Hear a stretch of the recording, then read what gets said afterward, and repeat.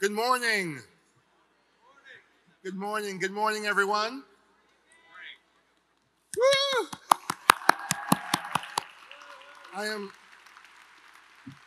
I am not too proud to beg for applause. Uh, good morning, everyone. My name is Rich Buery. I have the deep honor of being the CEO of Robin Hood. And I am so glad to welcome you here to our 34th annual Heroes Breakfast. Welcome.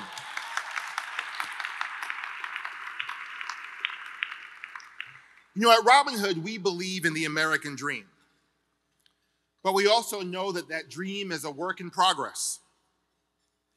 But we also believe that New York City can be at the vanguard of making the American dream the American reality. As New York City's largest poverty fighting organization, Robin Hood has prob- proudly invested over $3 billion to educate, employ, house, and support New Yorkers over the past 35 years.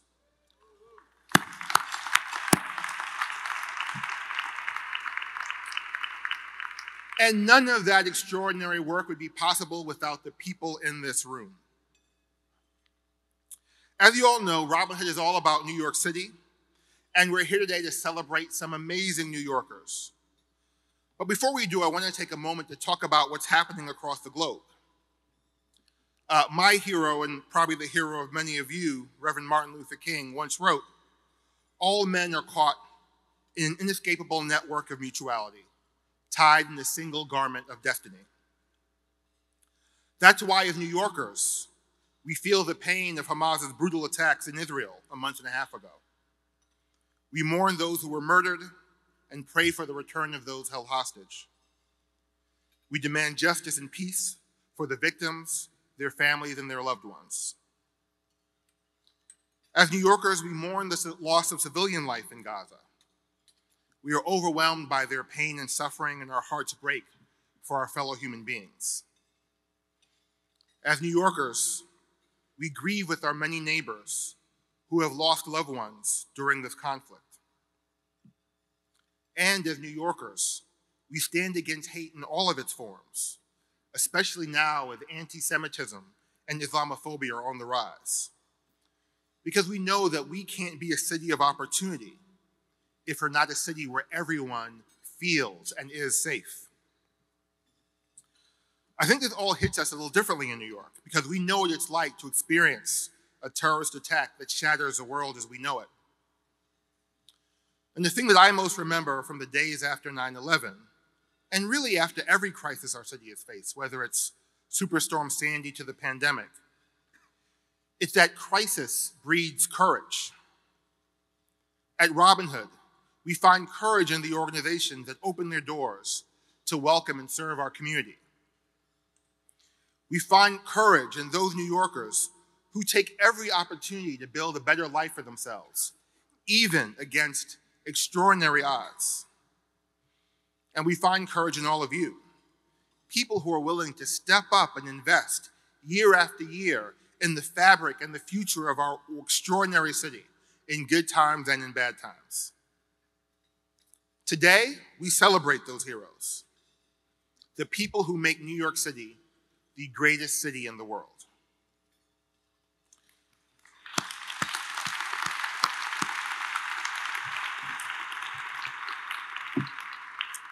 I want to start by celebrating someone who's been a hero to me, a hero to Robin Hood, uh, and a hero to children.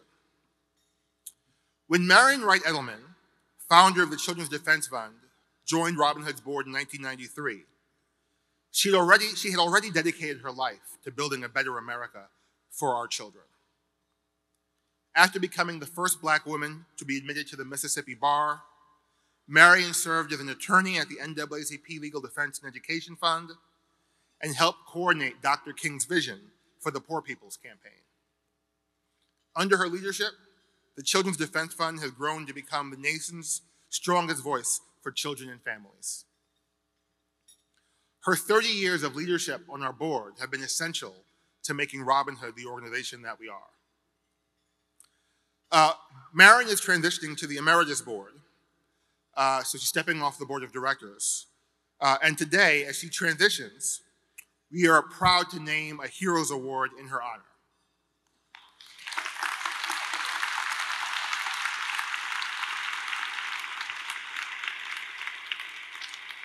Uh, Marian couldn't join us today, but I know she feels all the love and admiration in this room.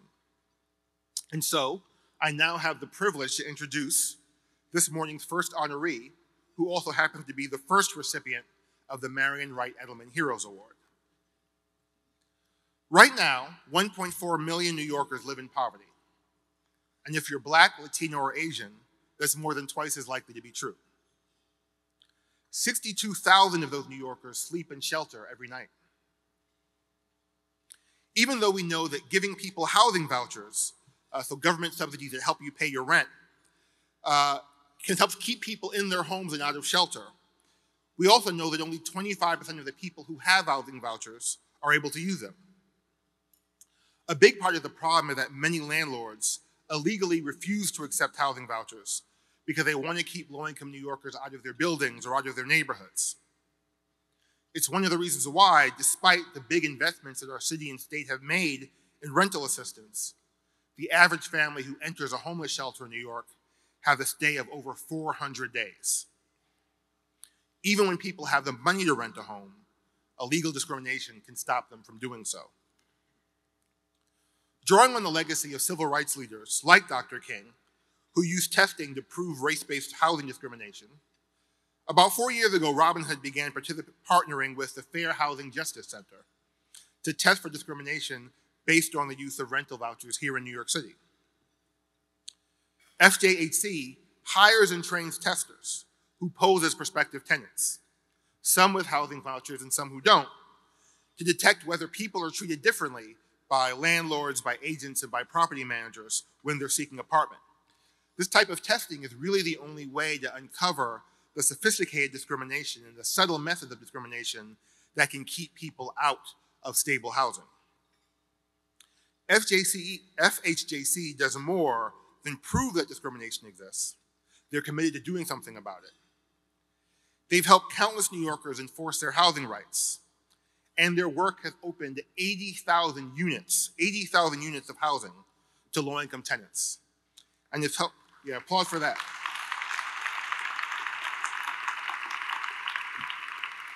We've also helped secure 54 million in damage and penalties that go into the pockets of low-income New Yorkers. For taking people from shelter to stable housing, it is my honor to present the Marian Wright Edelman Robin Hood Hero Award to the Fair Housing Justice Center and Nana Zakia.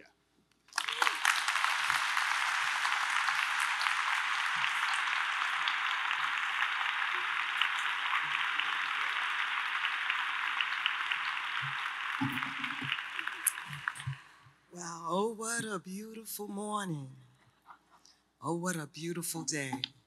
And that's what every family needs to start out with a beautiful morning and a beautiful day, a warm house, nice breakfast, good parents, and family. Oh, Lord the mercy. Let me start this. It's kind of emotional. Today's my mom's birthday as well. So I'm celebrating that Scorpio. My name is Nana Zakia. I'm a New Yorker. I lived here mostly all of my life. I was raised in Harlem by hardworking people. My mother was the head nurse at Harlem Hospital for 35 years, and my father was a hospital police sergeant for 25. There were four of us kids, and I'm the oldest, so you know what that means. We were kids from the projects before the projects got a bad rep. We grew up good in the 1960s and 70s when everyone looked after everyone and nobody dared to try to beat up anybody's mama. And if Miss Ann saw you skipping school, there was no threatening her, no telling her to mind her business. You just got to step in line. Get to getting and step in line and pray that your mama didn't hear the news when you got home. If you know anything that is useful, no. As a matter of fact, it was Miss Ann Hmm. Anna Thompson, who got me into teaching dance. I was 16, and I didn't think I had much to offer, just learning dance for the last three years, going to classes, doing my thing. And she said, Well, if you know anything, have any kind of knowledge, and someone doesn't, then you are the teacher. You just taught somebody. Just teach what you know. I took that with me. So I started teaching dance and theater and opening up the doors in the minds of all of our children in the same projects I grew up in. I started working with several nonprofits in the community.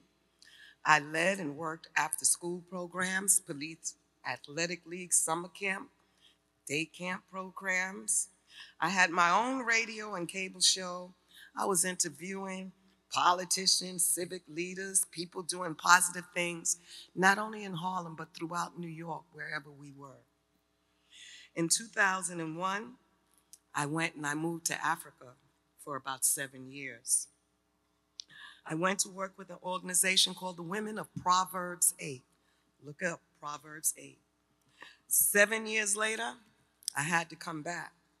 My mother was sick. She was suffering from cancer, and I had to come back and take care of her until she died.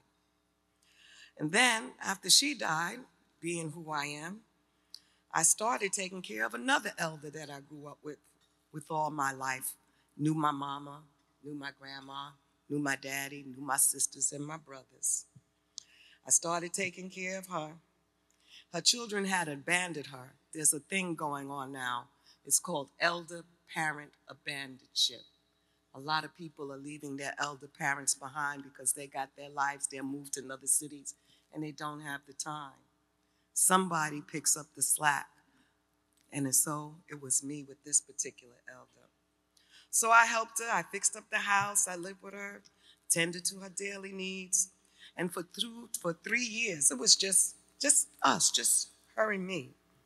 Then she died in the middle of the pandemic of April 2020. Then all of a sudden, her children came back to claim the apartment and began threatening me. I had to leave in fear for my own life at the height of the pandemic. I spent the next three years from 2020 until 2023 shuffling through the shelter system from Brooklyn to the Bronx to Queens, get up, move, right, left, like a soldier, just take those orders, never knowing what's going to happen, the inconsistency. Here I am, 67 years old, living like I was 17, unable to go to places because the shelters have curfews and you have to ask permission if you can stay out and do whatever it is that you need to do. Write a letter, a lot of stuff I'm not used to because I'm 67, not 17. I had no space to dance, no room to store my instruments, and I couldn't cook my healthy foods while I was in the shelter.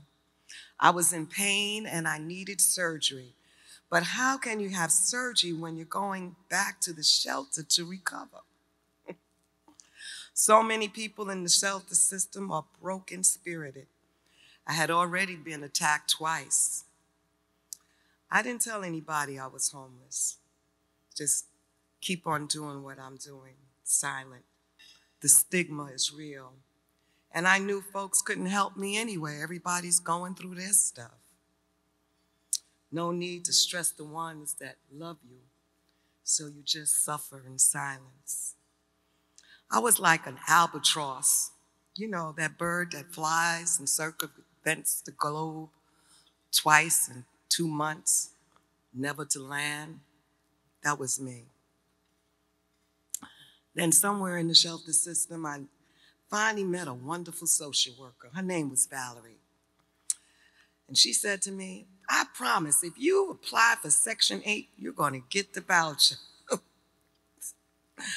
to a skeptical me, you know how many times I tried for that Section 8 and got rejected? Okay, let's go. Let's do this.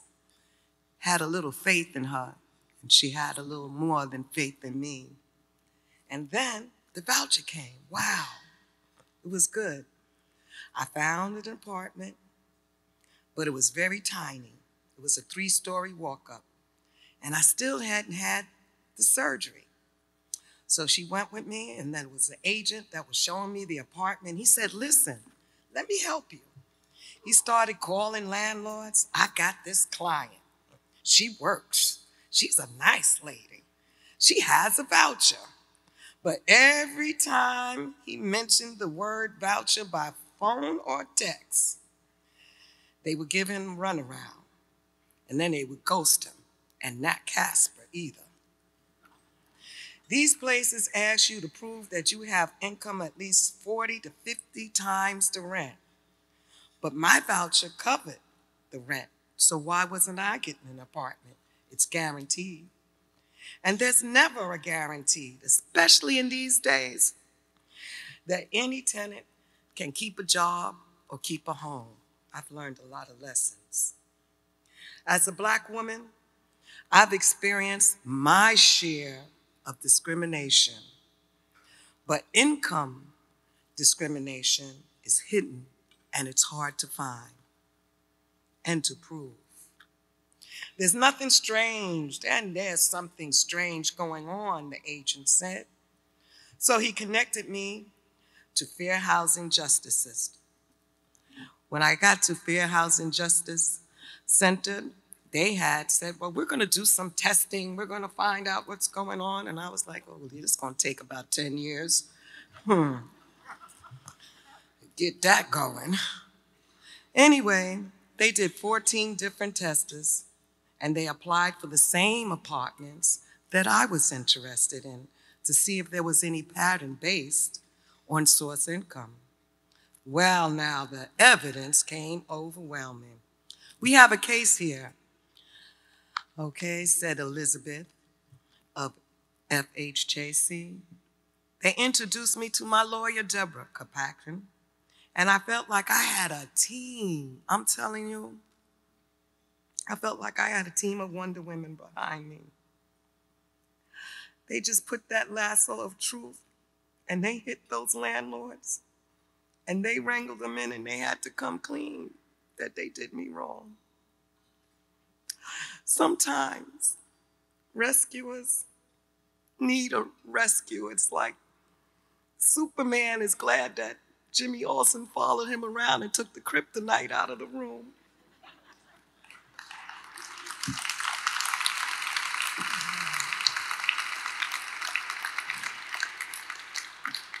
Healers need healers. And I needed to lean on somebody. I'm not used to that because I'm always giving. You know how that is. And let me tell you, FHJC, they let me lean on them. We filed the lawsuit in August of 2022, and less than a year later, we leveraged the power of the pending lawsuit to get me an apartment in one of the buildings I now love.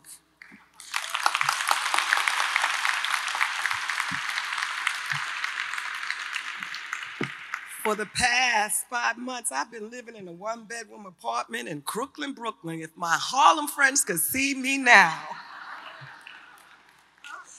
I'm over there with Spike Lee.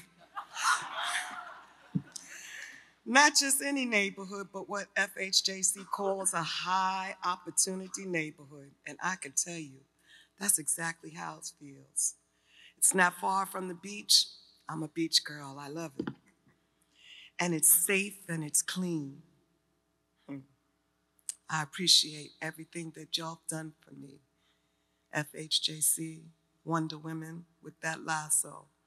Keep wrangling everybody in so they can be happy. I appreciate you. The first day that I put the key in the door, I was surrounded by all these boxes. You know, when you're moving in, you got all these boxes and you're looking at them. And you're just like, what am I going to do? How am I going to start this? This is a job. I was like, okay. Spirit said to me, start with your health. So I opened up the box of kitchen stuff. That's what the box said kitchen stuff. And inside there was a rice cooker my mama brought me as a housewarming gift. When I came back to Africa, I never opened it up. I just never opened it. I could hear her voice the day that she told me I needed that rice cooker. Nana, you need a rice cooker. You be cooking and doing all this stuff, everything. You, you need to do something fast. I know how to cook rice, ma. I don't need no rice cooker. No, you always doing something. You're gonna need a rice cooker to do something fast. You know how your mama talked to you, right? So I was like, okay. She visited me in New York and then she left New York. And then the next thing I know, came the rice cooker. I put it away. I never used it because I was still old fashioned. But here it was, three years in the shelter system. And my mom's was there with me. It was like I was having a housewarming. Excuse me. And my mama was there with me. There was nobody else. And I appreciate that mother's love coming out and reaching out from beyond the grave and letting me know I was okay, that I, I was strong. I made it through the storm. I appreciated that. I cried for 15 minutes, but I'm not going to cry here for 15 minutes. Even though today's her birthday, thank you, Robin Hood. Thank you for being the merry man and making sure that people like myself get a chance to make it and make New York better. I now can feel my creativity coming back. My heart is opening up again. I've been able to get back to my drumming, my dance, my singing, my herbalism. I started doing women's healing circles again, speaking to youth about alternative to violence. I've been through a lot, and I could call it tragic, but it's not tragic. Tragic. It's a blessing. It's not all about me. A whole lot of other people are suffering like this. Men coming out of prison, women experience domestic violence, teens that have no place to stay. But it's not just them. I met brilliant women. When I say brilliant, brilliant women in the shelter system, women with PhDs. One, one was teaching at NYU, and another one was working with the UN. And that sister just got her apartment just a month ago, and she just got a call just this week, and she's going to be doing some work for the people in Gaza. We deserve a place to stay and live, affordable. There are plenty of empty apartments all over New York. You can issue all the vouchers in the world, but if the landlords don't take them, they aren't worth the paper they're written on. What I love about Fair Housing Justice System Sister Center is that it's not just the filing of my suit that impacts so many and others, but there's accountability that makes vouchers what they are intended to be a rollback home for New Yorkers in need. That yellow brick road, get out of Oz, get back home. All my life, New York really has been a village, a community where everyone stepped forward to help or teach when they have something to give. It happened with Valerie. She had faith and she told me to stand strong. It happened with the agent who said, I like your vibe. Let me help you. It happened with my lawyer, Deborah, who told me to stand fast. Don't worry. We got these guys. We're going to wrangle them in. And it happened with Elizabeth. It happened with Stephanie and Jennifer and everybody who's been good to me since I've been on this road, this yellow brick road back home. There is no place like home. And it's happening right here and right now with all of you. I want to thank my team of Wonder Women Deborah, Marianne, Heather, Elizabeth, and Marulika.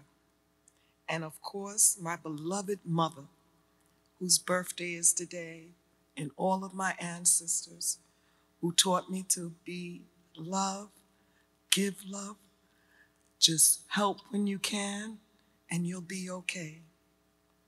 And I want to thank Robin Hood for protecting the New York I love and the New York I am proud to call home. I finally got back home, and I appreciate that. Continue the work, all of you who are out there giving, because when you give, you get back more than what the dollars. You get back people like me who come back and give back, and we just keep New York what it's supposed to be the international place where people come with their music, their arts, their politics, and they make changes. Thank you for being the merry men and women of Robin Hood, and I appreciate you. And I thank you on behalf of my mother, my ancestors, and all the honorees and everyone who's worked here today. And I say, God morning, because every day God gives us a chance to start a new day. Thank you.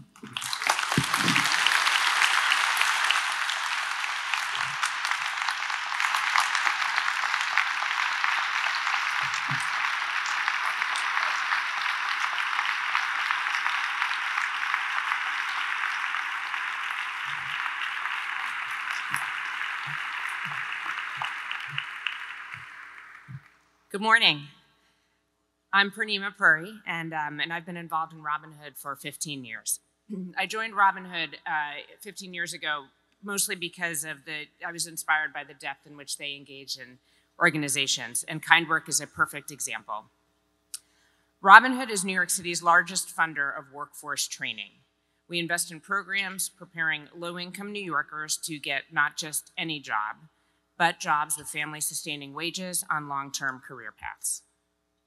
This morning's next honoree is doing just that. KindWork was founded in 2019 by tech industry veterans who saw a disconnect between hiring in their field and people who needed jobs.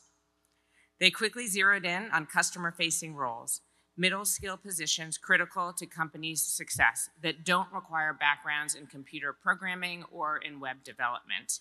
And they didn't require college degrees.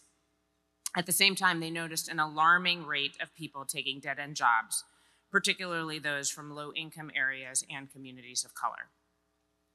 KindWork's six week fellowship provides in depth technical and professional training, job search support, and career coaching. 89% of people who complete the program get entry level customer experience roles, mostly within one month of graduating. Kind workers earn average starting salaries of $46,000. So that's about twice what they might otherwise earn. They get great benefits and clear opportunities for advancement. So there's, there's four things that people need to remember. Six week fellowship, no college degree, 89% of people are getting jobs and they make $46,000 a year.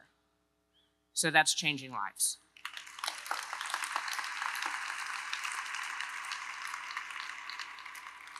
Robin Hood provided guidance in KindWork's pilot phase and sought them out as a pillar of our COVID relief strategy to get New Yorkers back to work. We've been enthusiastic supporters as KindWork grows their impact and undergoes a merger with another long-term Robin Hood grantee, Brooklyn Workforce Innovations.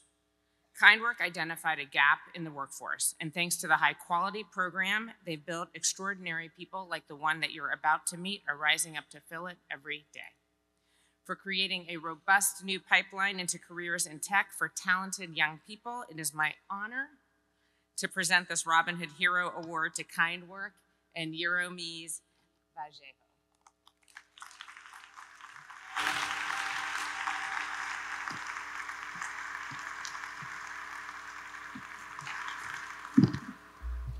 Good morning, everyone. Being the, being the daughter of a single mom means you know how to make things happen. There's not a lot of time to waste. As the oldest child and the first grandchild in a big Dominican family in the Bronx, I took on a lot of responsibility from a young age. My mom juggled two to three jobs, cleaning houses, and working all hours as a home health aide. So I picked up my sister after school, babysat on the weekends, and learned to wing it in the kitchen. My mom could never make it to parent teacher conferences, But she had the phone number of the school office assistant and always called to check up on me. She never knew kids teased me for speaking Spanish or that I read the dictionary at lunchtime to get ahead. But she did know that I tested out of ESL as soon as I could. And by middle school, my English teacher praised my writing as college level.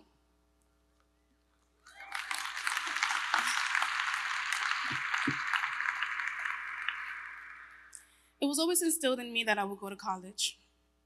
But once I got there, it was very overwhelming. No one else in my family had ever been, and trying to figure it all out on my own caused a lot of anxiety. So I stopped going and I took a job at a kids' dance school instead. After a year, I applied to be a patient care representative at a clinic in the Bronx. It felt like getting my first big girl job, like it might be the start of a real career. But, but management was not very engaged or encouraging, and eventually I was just going for the paycheck. Then COVID hit. I worked the front desk, registering and discharging patients. Everyone was sick. It wasn't unusual to see the doctors crying. I knew I couldn't be working 12 to 13 hours, getting exposed, and potentially bringing the virus home to my grandparents. So I had to quit. Not long after, I found that I was pregnant. It became clear that I was going to be the primary caregiver for my son. I was 25. Sorry. It was just the life that I, it was just, wasn't the life that I imagined for myself. I started going to work with my mom every day just for the company. I was sleeping in her bed at night. Even in a crowded house, I felt so alone. After Bryson was born, I battled postpartum anxiety and depression. But mental health isn't talked about a lot in my community.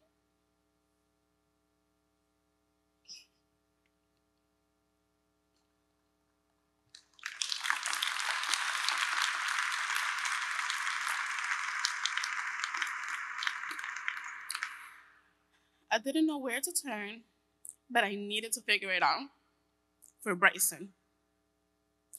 I applied to every customer service job I could find. Then I randomly went on Craigslist and saw a listing in tech.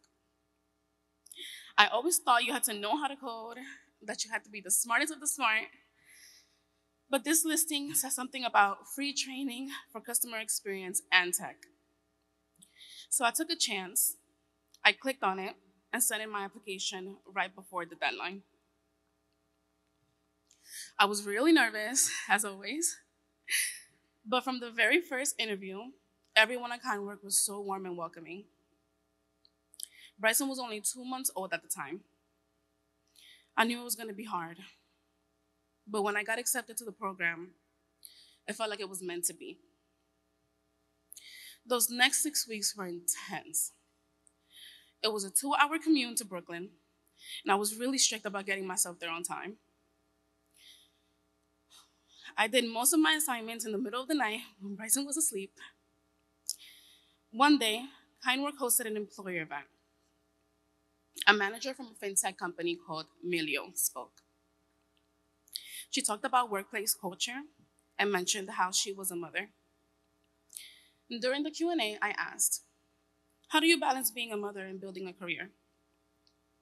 She talked about how her family understands her goals and how she has a strong support system. And I started to imagine myself working for someone like her. Leading up to graduation, you're supposed to have one to two jobs a day that interest you in your job tracker. But I already had 30 in mind.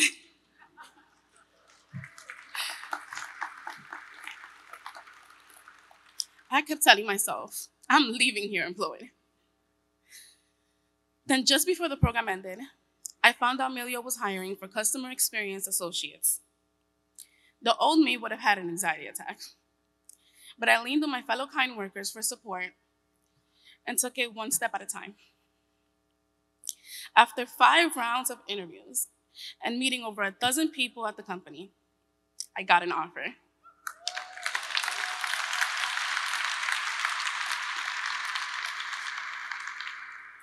$65,000 plus equity that vests over four years.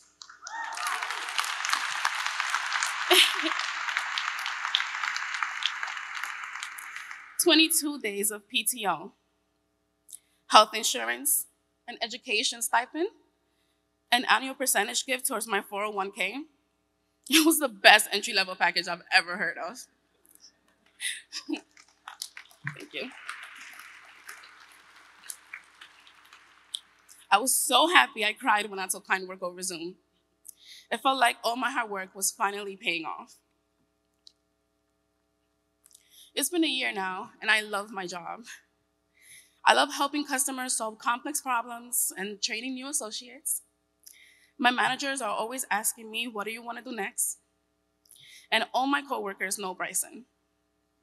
I even bring him to the office sometimes. I feel like I can be fully myself for the first time. Earlier this year, thanks to the money I've been saving up, Bryson and I moved into our own apartment.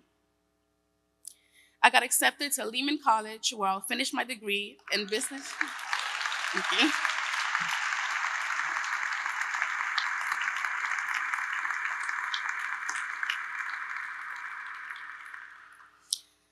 I got accepted to Lehman College where I'll finish my degree in business administration and eventually get my MBA. I want to be a first generation homeowner. I want to have a big house where I can do family events without everyone being on top of each other. I want Bryson to have access to all the opportunities I didn't have. And I want to help other people reach their full potential. Being a single mom was never in the plans. And at first, I feel like I failed. I know how much my mom sacrificed to give us a different life. And I felt like having a baby on my own was the one thing I was never supposed to do. But now, I'm like, yeah, I'm a single mom. A single mom with an amazing career.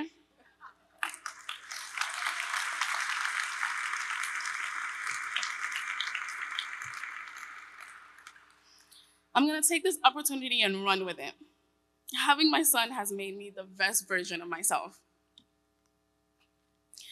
Without KindWork, I would have never known this life was attainable for me or for people who look like me. There's so much untapped talent in our communities. I truly believe it benefits companies to have people from different walks of life in one office. It brings more ideas and different perspectives that improve the business. It's a win win. Anyone who knows me will tell you that I've always been terrified of public speaking. Can you tell? I've run, out of, I've run out of presentations in front of crowds a fraction of this size. The fact that I'm up here today in front of over 400 of you proves the power of KindWork, the quality of the training, the confidence I gained, and just how much they care. I'd like to thank my mom.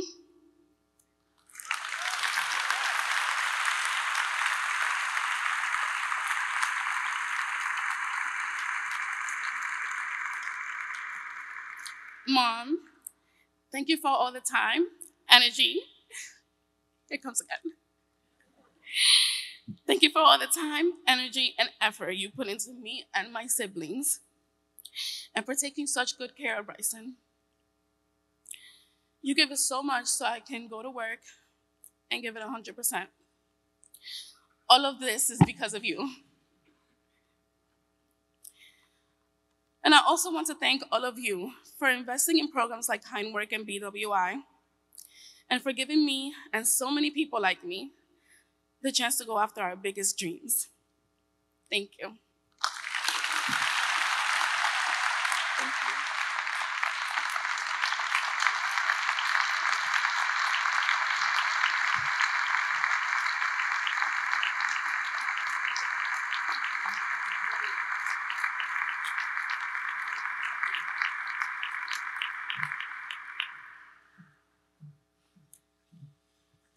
Thank you, Yiromys. That was amazing. Uh, good morning to all of you and happy Thanksgiving. I'm Kristin Lemkau, CEO of Wealth Management at JP Morgan Chase and proud, proud founding member of the Robin Hood Leadership Council. Each year, we come here and we remember how important it is to see each other as humans first. And that reminder couldn't be more important as we introduce the work of our final honoree this morning, New York Legal Assistance Group, or NYLAG, as they are known to the world. NYLAG is the, one of the only organizations in New York practicing both family law and immigration law. And what's special is NYLAG goes to where the need is, providing services at more than 150 community sites, courts, hospitals, and libraries. Last year, their staff of 350 impacted the lives of more than 129,000 people. I know there are a lot of math whizzes in this room. That works out to be 370 people, 370 lives per staff member. Over the past two decades, Robin Hood has invested nearly $10 million in NYLAG's efforts to combat economic, racial, and social justice from $250,000 invested in capital projects to seed funding for their legal health program, now taken to scale and fully funded by the City of New York. Robin Hood has intentionally targeted our grants to impact the more than 60% of NYLAG's clients who are immigrant women and survivors of domestic violence or sexual assault, terrified of being deported or separated from their children. Too often, these women remain in the shadows without legal representation and no viable pathway out of poverty.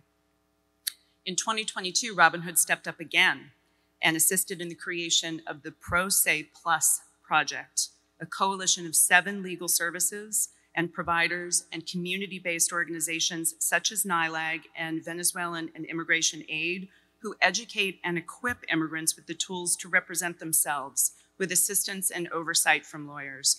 And at a time when lawyers can't possibly meet the growing demand, the Pro Se project has vastly increased the reach of legal services and replaced fear with self advocacy for so many immigrants across New York City.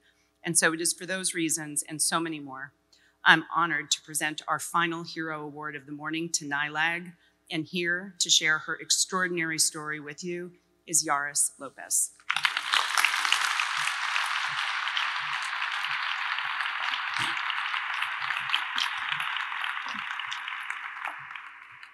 Hi, good morning, everyone. I am so happy to be here to share my story with you today. Even in the worst situations, I have always been able to find what I like to call a little grain of salt. In every experience, there's an opportunity, and New York is the land of opportunities. As a native Garifuna, an indigenous population in Honduras, my family didn't have those opportunities. Many refused to even call me by my name. Black girl, they used to call me. When I was 11, our neighbors saw my younger sister's father pouring gasoline outside of our house. He planned to burn us alive. My mom immediately packed us to leave for the US. I started screaming at her, something I have never done in my life. Why do we have to leave before my sixth graduation? Why can't we take her pretty clothes?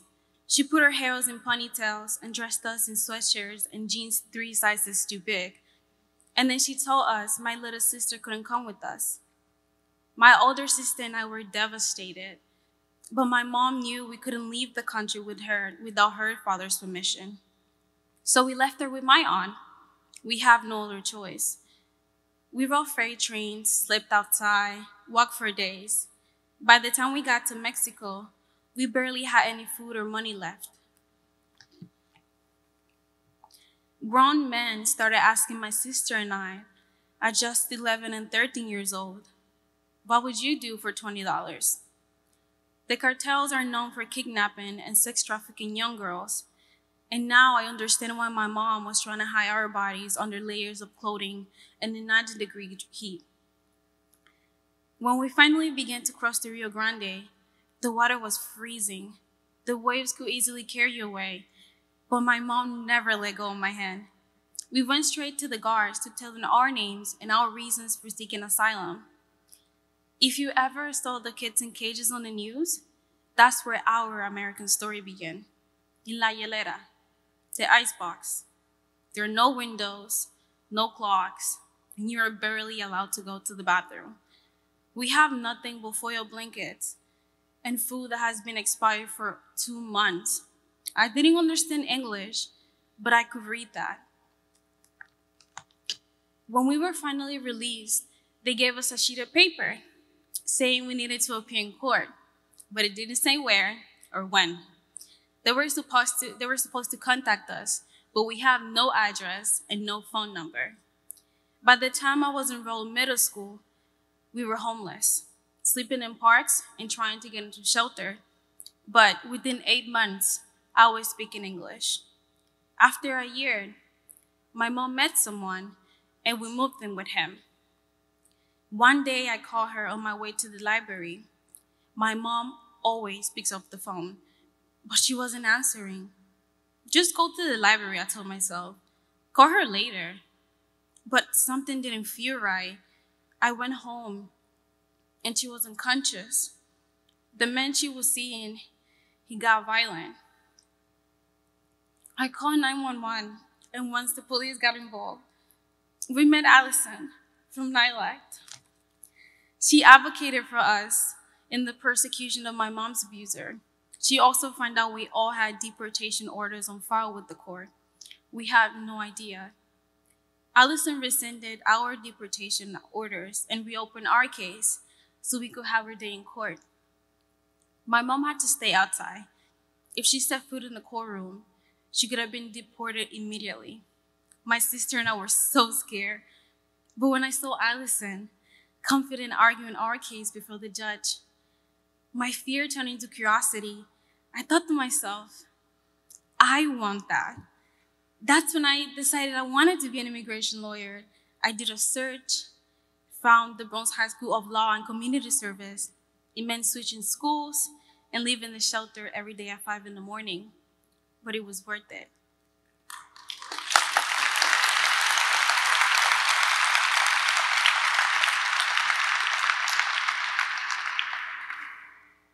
I joined mock trial and started helping Allison navigate our legal case, translating every document for my mom.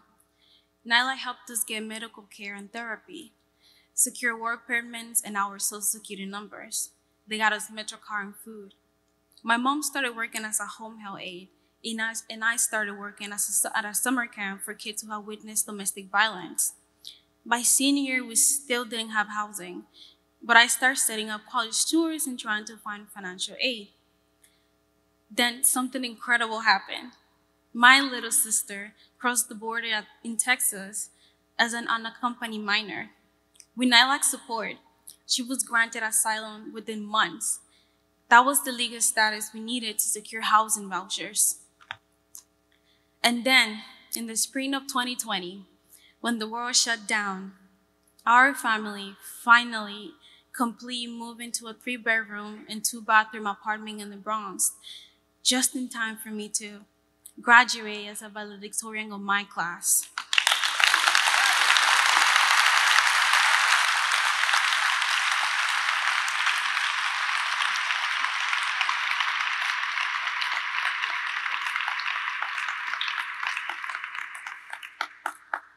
I was accepted to 12 colleges.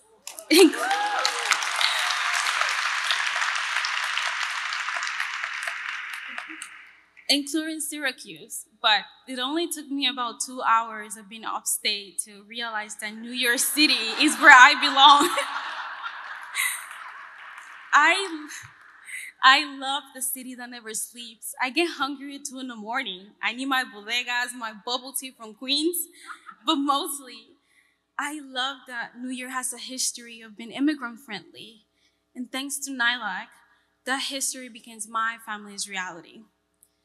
Last year, I started volunteering at the Pro Se Plus project funded by Robin Hood. I got to file my first 589 application. I helped serve as a translator for a Venezuelan victim of torture in preparation for her trial.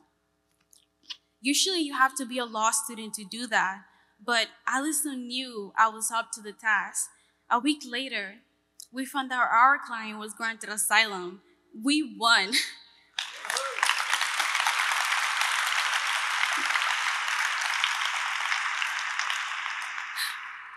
As an immigrant, you're always fighting the stereotype that you're burden. But that day, I feel like a good luck charm. This spring, I will graduate from Lehman College.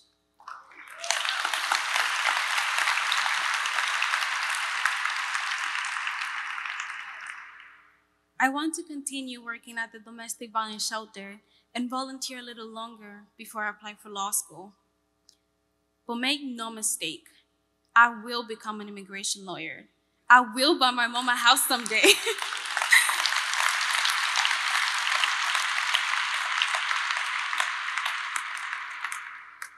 I will also ensure that all of this has been worth it, not just for me, but for the thousands of immigrants fleeing discrimination and violence that come after me. Without NYLAG, we wouldn't just have been deported back to Honduras. We would have been deported back to our death. Ah, Allison, today is about heroes, and you are mine. I have learned so much from you. Thank you. To my mom, who's here today, you got us here, and everything that I have is because of you. I love you so much. I want to thank Robin Hood and all of you for giving us the opportunity to live in New York, the city of immigrants. Now is my turn to add my little grain of salt, and that's exactly what I intend to do. Thank you so much.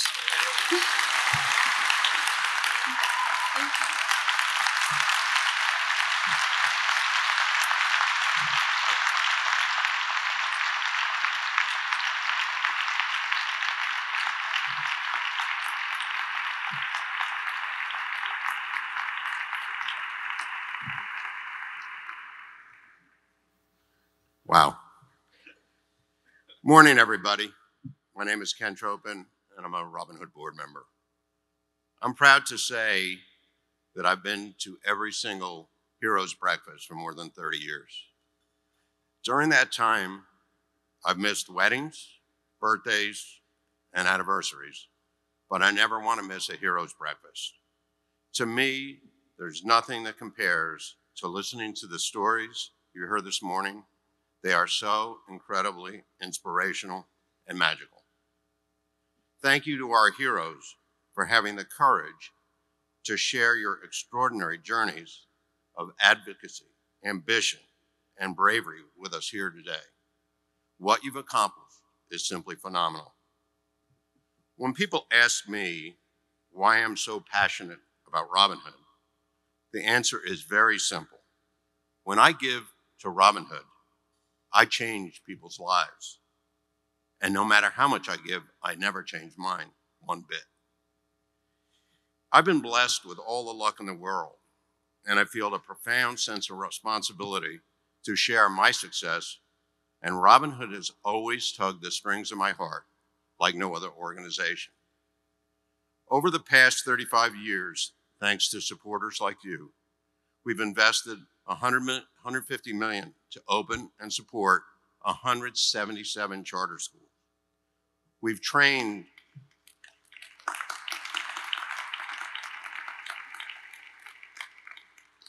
We've trained 200,000 individuals in workforce development programs, which translates to 7.8 billion in additional lifetimes earnings. Incredible.